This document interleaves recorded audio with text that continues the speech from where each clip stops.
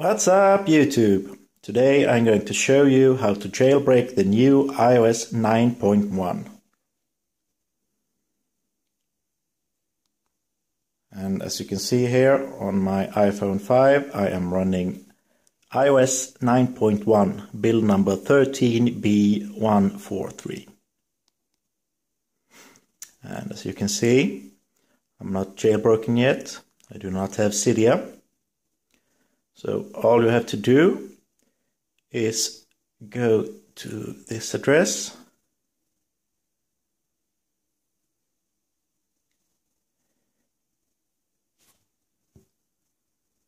If we can just get a little focus on this thing. Keenweb.com and keen is spelled with uh, three threes. So k33nweb.com Uh, welcome to the keenweb.com, free untethered iOS 9.1 jailbreak. And it works like this. As you know, you can't install Cydia on on a device that hasn't been jailbroken, but you can, of course, install Apple approved apps. Now, the Keen team has found a way to hide Cydia inside of approved applications. I don't know if you can see it. Uh, there we go. So, Cydia and the jailbreak is hidden inside of applications that are approved by Apple, so you can install them. So, and when you start those apps, then the jailbreak and Cydia will start in the background. That's why you need to start the app and keep it running for about 30 seconds to give Cydia time to install itself. So, at the bottom of this site, there's a little icon just click on it.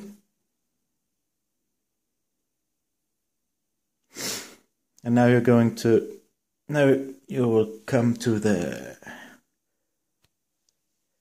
app store that has the Cydia injected apps.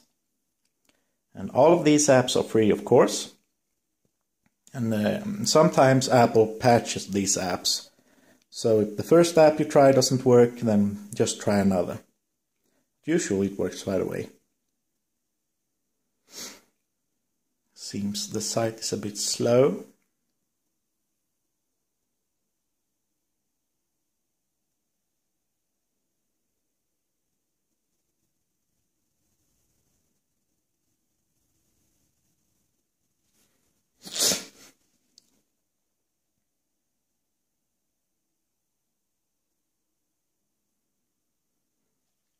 And all of these apps are injected, so you can pick any app you want. And they're all free, of course, and they are all injected with Cydia. I just click install.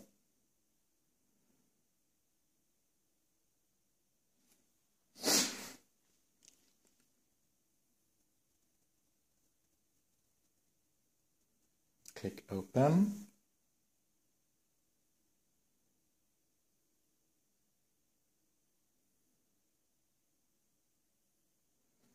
Install the app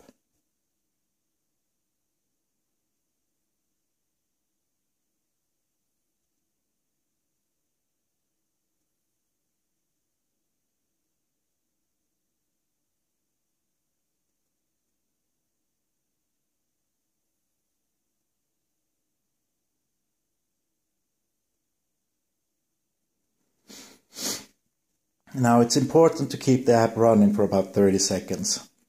So uh, and Jailbreak has time to install itself in the background. Uh, you don't have to do anything with the app, and when you're jailbroken, you can uh, delete the app.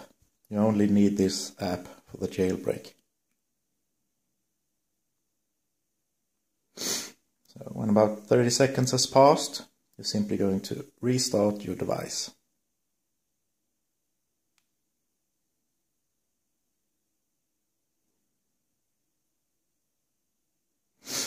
And then you start up your device again to finish the jailbreak and install Cydia.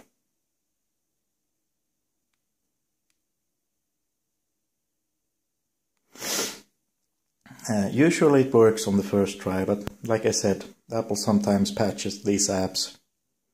But they're all they are all free, of course. So if the first one doesn't work, then just try the next one.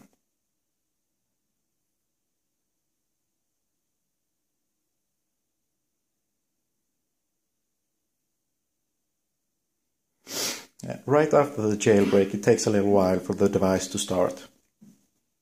Like now, for example.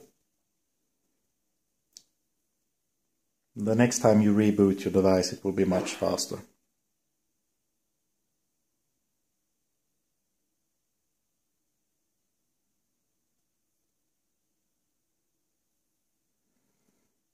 Let's see if it worked.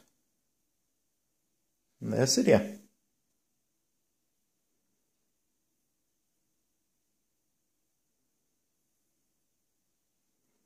And that's how easy it is to jailbreak the new iOS 9.1. And if you liked this video, then please do comment, rate and subscribe. Have a great day.